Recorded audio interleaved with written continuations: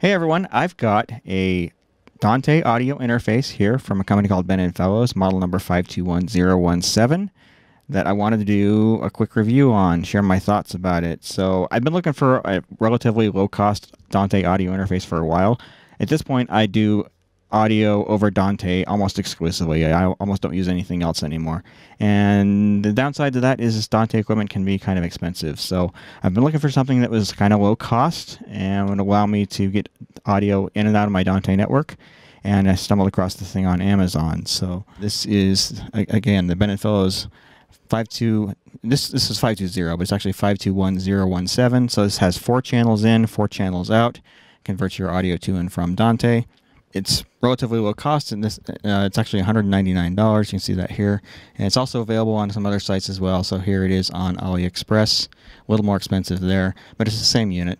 Uh, this appears to be either a Chinese company or a company that imports from China. A company here in the U.S. imports from China, uh, and then then sells to here in the United States. So uh, I got pretty excited when I saw a relatively low cost unit. So take a look at the physical connections on it. On the one side, we have Phoenix connectors, so four inputs, four outputs. Those are all balanced. And then on the reverse side, we have our network connection, the Ethernet, and the 12 volt power input. It does come with the power adapter.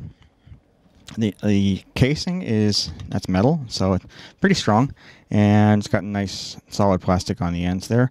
So in terms of build quality, I'm actually fairly happy with it. It does feel like it's fairly well made one of the downsides we want to I want to talk about right at first is that there are no level controls for the inputs. So if we look at the Amazon web page for this unit, it actually says that it has four balanced mic and aux inputs. I, they mean line, but that is either not true or they don't provide the software in order to control it. When I received this, it actually came with a card that had links for software to control other units in their product line, but not this one. When I emailed about them, and when I emailed them about it, they just sent me links to the Audinate Dante controller software and not any software that's specific to this unit for controlling levels. It's one of the downsides of the Dante protocol is it doesn't have anything built into it order to control uh, audio levels. So you're left to other software to make that happen. In this case, uh, either, either, it doesn't exist or the manufacturer wouldn't provide it, either one. So I contacted them directly via email. I also contacted them through Amazon. And in case of email, they never wrote back. And on Amazon, they said they'd send me the software. And the software that they sent me was just the generic uh, Audinate software that you can download directly from the Audinate website. Uh, next thing audio quality. It's decent, but not great. I'm going to play a little bit of audio for you here. So what we have here is audio sent out from the computer. I'm using one of the AVIO units from Audinate, and it's going into directly into my mixer. I'm using the TF3 here, so that's on channels 25 and 26. And then that same audio is being sent to my Ben and Fellows unit. So this, I, am right now, I, am calling it DJP trailer rack because that's where it's intended to go. So I have the audio from the computer routed in, into channels 1 and 2 on that unit. And then on the unit itself, I have outputs 1 and 2 routed back into inputs 1 and 2. So it's just a straight connection. And then the inputs from that unit are being routed to channels 27 and 28 on my TF3 mixer. Now if we take a look at the mixer, we can see channels 25, 26, 27, and 28. So 25 and 26 are direct audio, so I'm going to go ahead and play, play some music there. So you'll see the level meters there.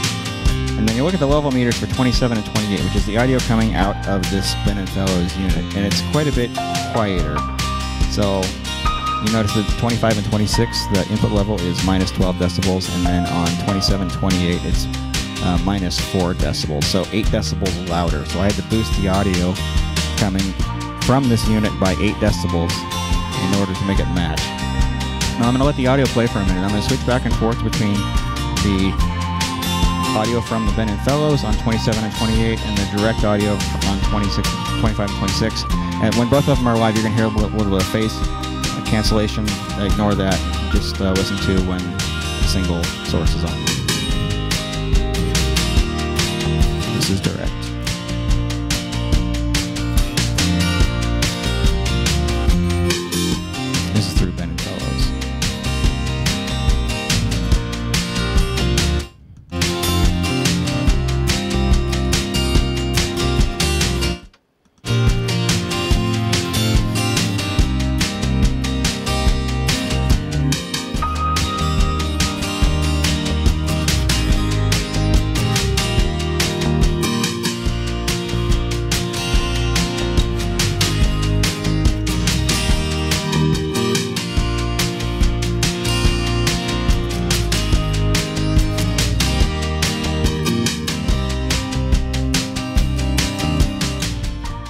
The audio quality on the unit is actually not too bad. Uh, I do, I mean, I'm picking up some loss in some of the really low frequencies, and the highs aren't quite as transparent, uh, not quite as open as the direct feed. But the audio quality is really not terrible. It's it's okay. It is passable. It would it work for most most applications, and most people would never know the difference.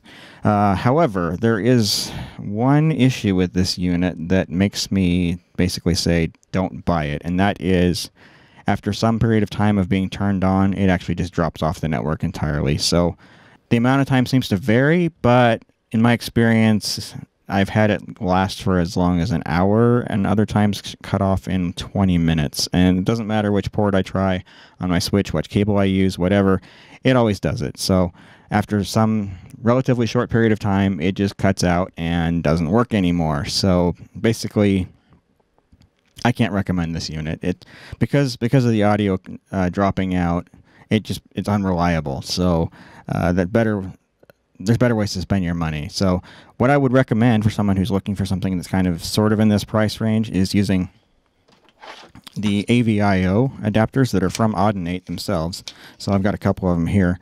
Uh, this one is two-channel analog input, and this one two-channel analog output. Uh, the downside of these is, is, they do require phantom power from your network switch in order to operate. They don't have power supply, so they they can only be powered by phantom power, and uh, so that you'll need to either get a switch that has power over Ethernet or uh, get a power over Ethernet injector. Uh, the price per channel on these is higher than it is on this. These units are about $129 a piece.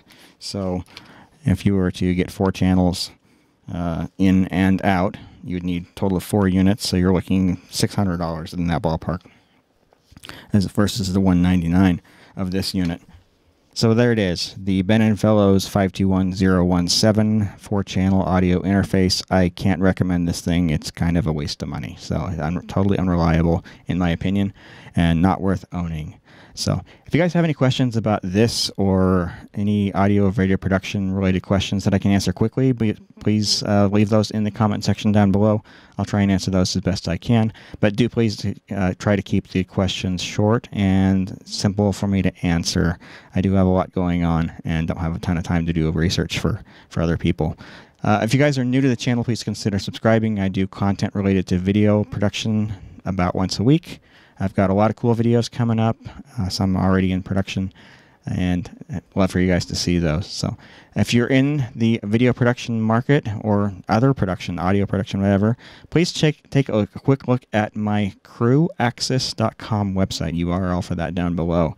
It's there to help you run your business. So it keeps track of your events, keeps track of your crew, keeps track of your equipment, and most recently, I've added some features in order to make it easy to collaborate with your clients as well, to make sure that you know exactly what their needs are going to be and you can make sure that you're going to show up with all the equipment that you need and that you're going to be prepared for all the events that you're working. So, thanks guys for watching and have a fantastic day.